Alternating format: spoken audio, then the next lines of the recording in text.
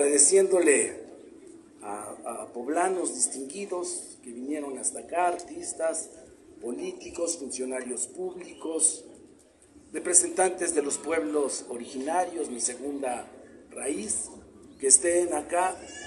Lo hacemos en un reconocimiento que debe obligarnos a todos los poblanos y que es la fundación de la primera ciudad renacentista en México.